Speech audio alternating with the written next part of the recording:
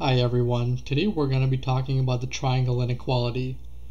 There are a few ways to formulate the triangle inequality and in particular we're going to be working with the real numbers, not the complex numbers and we're not only going to be talking about a couple of variables but we're going to be talking about the most general form of the triangle inequality for real numbers that is involving the absolute value.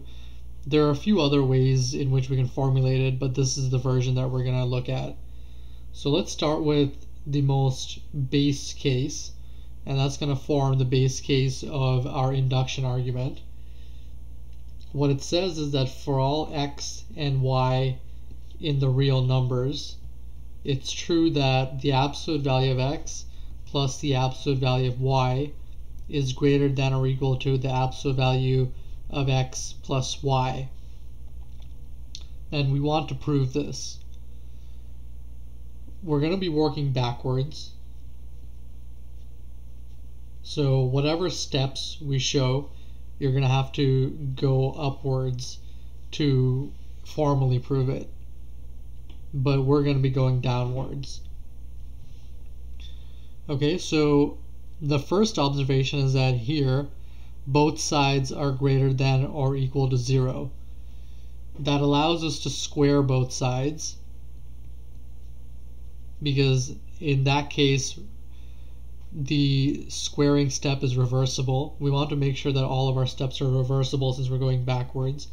And we get the square of the absolute value of x plus the square of, of the absolute value of y plus 2 abs x abs y greater than or equal to x squared plus y squared plus 2xy. We can get rid of these absolute values since squaring something is the same as squaring its negative. So the absolute value is not really necessary. We get the same result either way, which is this. This is x squared plus y squared plus 2 times absolute value of xy greater than or equal to x squared plus y squared plus 2xy. Now we can apply some cancellations. The x squares, the y squares, and the 2's. And we get the absolute value of xy is greater than or equal to xy. And this is definitely true because the absolute value of something is always greater than or equal to that thing itself. Now comes the equality case.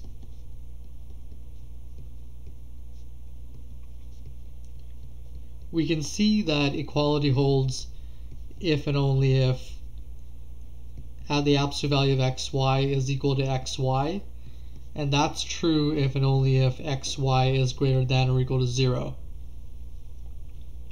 you should be able to independently verify that step. And that is true if and only if two, one of two things is true. x is greater than or equal to 0 and y is greater than or equal to 0. Or x is less than or equal to 0 and y is less than or equal to 0. So we have two cases here, and as long as one of them is true, equality holds in the triangle inequality. That is this inequality over here.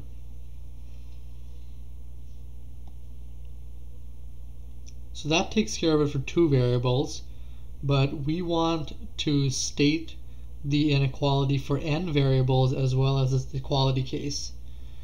Before we do that, I just want to mention what this equality condition means geometrically.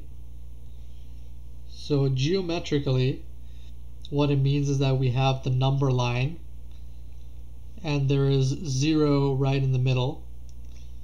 And what we do is that we split the number line into two halves, each half including zero, going this way and going to the left.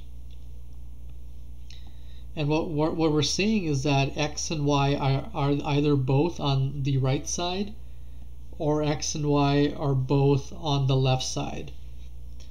And that's going to be the general idea behind the equality case of the general triangle inequality as well. So let's prove it. The, the general triangle inequality says for all x1, x2, all the way through to xn in the real numbers,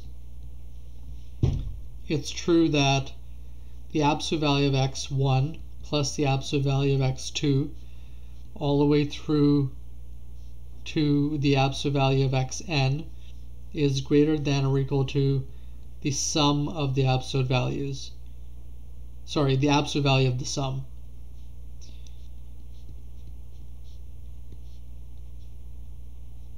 So over here we have the sum of the absolute values and over here we have the absolute value of the sum. And we're saying that we can always compare them in the same way. So we're going to be using induction. Hopefully you've seen that method before. If not, you sh should be able to pick up on how it works through this proof. The base case is done, which is for n equals to 2. We just proved it. And what we're going to do is that we're going to show that if case n minus 1 holds, for some n minus 1 greater than or equal to 2, then case n holds.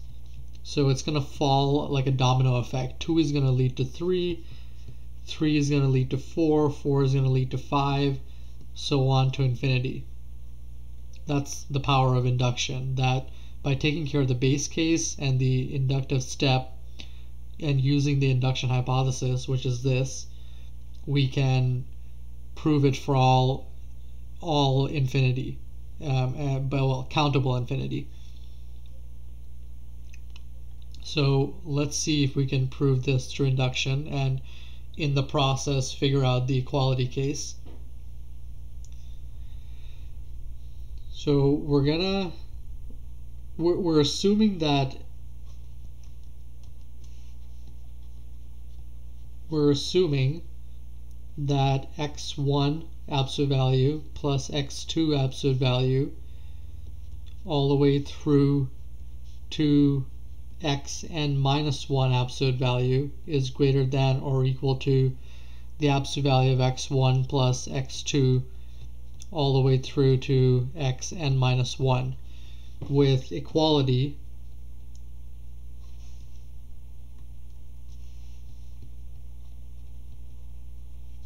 if and only if x1 comma x2 all the way through to xn are all non-negative or x1 x2 all the way through to xn minus 1 not n are all non-positive. and what we want to prove is the same thing but with n variables. So let's take this and add the absolute value of xn to both sides. So we get x1 all the way through to xn minus 1 plus xn is greater than or equal to the absolute value of x1 all the way through to x minus 1 plus the absolute value of xn. And over here, we can just use the base case. We're going to pretend like this over here is a block variable. Call it y if you want. And so this is greater than or equal to the absolute value of x1 all the way through to xn minus 1 plus xn, which is the inequality that we wanted to prove. Now, we should formally take care of the equality case. So we're going to be taking care of this case first and then this case. So suppose x1 all the way through to xn minus 1 are greater than or equal to 0. Well, that means that x1 plus all the way through to xn minus 1 is greater than or equal to 0. And because of the base case over here that we used, we know that the sign of this sum, whether it's non-negative or non-positive, is the same as the sign, well, it's not exactly the sign because 0 is a sign of it by itself, but what I mean is that xn is also greater than or equal to 0. So we can tack it on to our list over here. Similarly, suppose x1 all the way through to xn minus 1 is less than or equal to 0. Well, that implies that the sum of x1 all the way through to xn minus 1 is less than or equal to 0. And because xn also has to lie on the same side of the real numbers, we get that xn is less than or equal to 0 because it's on the same side as this sum. So that means we can tack it on to our list over here. So either way, we have the real number line here with 0 in the middle and we have the two sides both including 0 and what we're saying is that we either have all the x's on one side or we have all the x's on the other side. Okay. Thank you for listening, and I'll see you next time.